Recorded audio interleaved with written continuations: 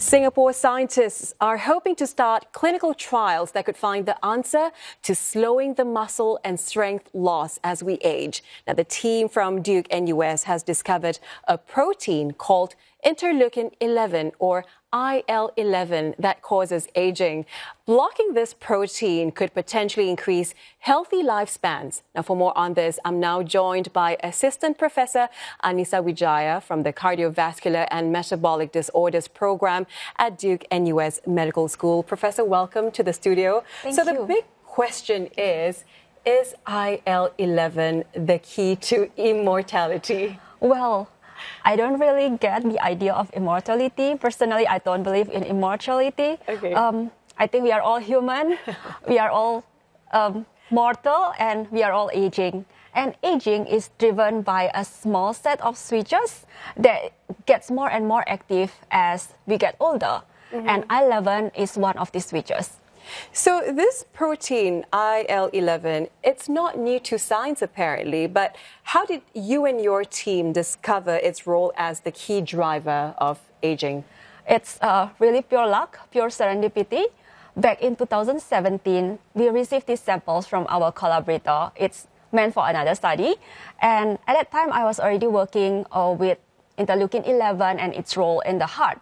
So I thought to myself, why not just see whether um, could see this I-11 in these samples because it happened that these samples come from different age group. And lo and behold, um, we found that I-11s are elevated with increasing age.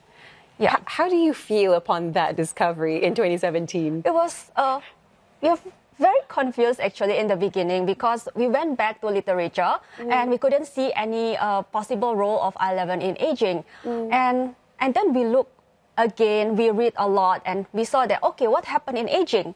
What happens in aging is you have more tissue scarring, you have more inflammation, and you have a decline in your body ability to heal, to repair and regenerate uh, after injury. Yeah. And then we look at I-11, what I-11 does. I-11 causes tissue scarring, I-11 causes inflammation, and I-11 causes a decline in our body ability to repair and regenerate. So all these matches, Okay. plus the fact that we see that I-11 elevated, uh, are elevated with aging, we thought, okay, this is so interesting, and perhaps I-11 could be a key driver in aging process. And your team also found that our organs produce increasing levels of IL-11, and that reduces muscle mass and strength, um, as well as increase fat accumulations in the liver and abdomen. How are these symptoms related to aging? Yeah, so with, with aging, all our cells in the body, they accumulated damage factors. Damage protein, damage DNA, damage mitochondria. And with this damage factor, accumulation of these damage factors, this makes your fat tissue um, have less ability to burn calories. This makes your muscle um, less strong, less strong, and then this makes your fat tissue also has less ability to remove the fat efficiently. So, Professor, you know, explain to us more about the anti-IL-11 therapy, how it works in countering aging. We all want to know this. Okay. So anti-IL-11 therapies are an antibody drug. Um, we administer it um, in our mouse model via injection, and it acts by binding specifically to IL-11 and blocking it from its action. And in aging, this turn off the switches that I mentioned just now. And because aging is only controlled by a small set of switches, if you turn off one or two of these off, this will cause all our cells to regain their youthful function so they can function better. So, anybody can take this therapy. Uh, they are not um, in, uh, in the market yet. Okay.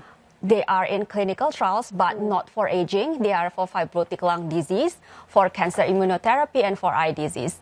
Okay. So, how far would lifestyle changes, though, like healthy diets, um, exercises, go in reducing these aging symptoms? Or is change at the molecular level the most effective at slowing down the process? Okay, so yes, like exercise, strength training, yeah, go for it. I think uh, everyone should uh, exercise regularly. Calorie restriction, healthy diet. You probably have to start when you are like about what 35, 40 year old because that's Or when you earlier, yes. yeah when you realize that your body has slower metabolism, but you have to be very compliant. You have to be very disciplined. Um, if not, it's very difficult to see uh, on obvious effects.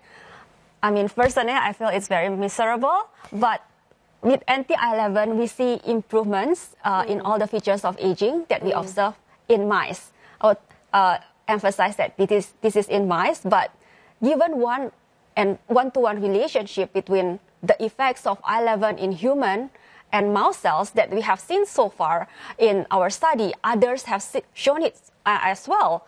Uh, very independent of us, both in academic institution mm. and pharmaceutical companies. So we think um, the likelihood that anti-11 therapy will work in human is there. Okay. Yeah. So earlier you talked about um, this clinical trial. Yeah. You and your team are raising funds for it. So share with us more about your plans and what do you hope to achieve from that trial? Um, we are uh, talking to partners, uh, trying to speak to individuals and maybe um, pharmaceutical companies who are already in aging field, especially those with um, substantial funding support, maybe, and try to find a way that um, maybe with our data to encourage and inspire them if they could think um, to pursue this important direction. And what we would like to achieve is that this is my hope that we can do trial for aging within the country in Singapore. Mm, that's very interesting. Professor Widjaja, thank you very much for coming in You're into welcome. the studio to thank talk to us about me. this. Uh, that was Assistant Professor Anissa Widjaja from the Cardiovascular and Metabolic Disorders Program at Duke NUS Medical School.